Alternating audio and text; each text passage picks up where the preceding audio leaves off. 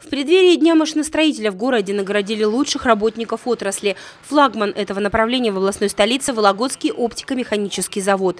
Сегодня он входит в список стратегических предприятий страны. Его продукция применяется в оборонке, медицине, спорте и других сферах.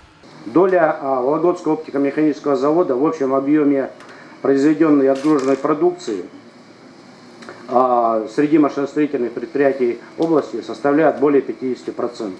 Завод уверенно идет сегодня по инновационному пути развития э, со стратегией прогрессивного роста. Разработки завода служат двигателем для всего промышленного комплекса. Именно поэтому предприятие – это не только мощности и объемы. Главное – люди с их идеями, опытом и профессиональным отношением к делу. Они активно участвуют в социальных проектах города «Цветущий город», «Леди Успех», «Вологда. Город профессионалов», «Шефы».